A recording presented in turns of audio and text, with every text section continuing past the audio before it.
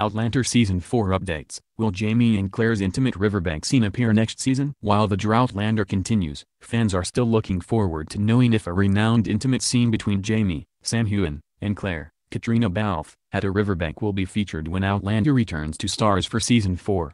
Fans of Diana Gabaldon's book series where Outlander was based from could remember the intimate encounter between Jamie and Claire at a humid riverbank in Drums of Autumn, since the events in the fourth season were taken from that book. Entertainment Tonight caught up with Heughan and Balfe at an event for the series in Los Angeles to ask for some teasers regarding the highly anticipated scene. However, the actors acted coy and teased that something might be shot near a body of water for the upcoming season. Heughan teased that the Frasers might go for a swim or do some laundry in a river, but he added sarcastically that they are not filming anything near a river. There may be stuff there, but it's. I was going to say wet, Heughan stated while laughing. There's water involved, but it might not be a river, who knows? He added. His co-star Balfe also opted to be reserved when asked if she would like to share something about the possible scene. However, executive producer Maril Davis chose to give more details about the potential steamy love scene in the upcoming season, saying that they always try to include the important scenes from Gabaldon's books. But they always do it in a different way. She also said that they have to do a lot of improvisation since they had to film the scenes for season 4 in Scotland during the cold winter months instead of working on the steamy, humid weather of North Carolina.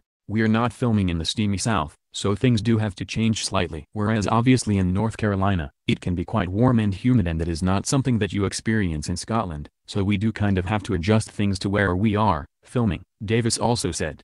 Series co-showrunner and executive producer Toni Graphia and Gabaldon also talked about the challenges of making Scotland look like the American shores in another interview with Parade. According to Graphia, the show's production designer Gary Steele did a wonderful job in converting the appearance of the location. We're halfway through shooting. I've seen the first few episodes and they're gorgeous. It looks very much like America, like it's supposed to look, she stated. Though Graphia also claimed in the interview that they needed to add more wooden buildings in the set since there are a lot of stone buildings in Scotland. She and the book author believed that the production design that Steele made for season 4 looks very spectacular.